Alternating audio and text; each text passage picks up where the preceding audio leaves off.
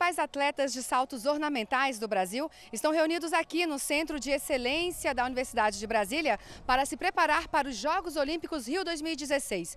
Durante a semana, eles vão fazer atividades de preparação física e treinamentos, além de exames e testes psicológicos. O Centro de Excelência em Saltos Ornamentais é um projeto do Ministério do Esporte com a Universidade de Brasília, em parceria com a Confederação Brasileira de Desportos Aquáticos. Este é o primeiro centro de excelência da modalidade no país. Os atletas ficam aqui até o próximo domingo. De Brasília, Luana Karen.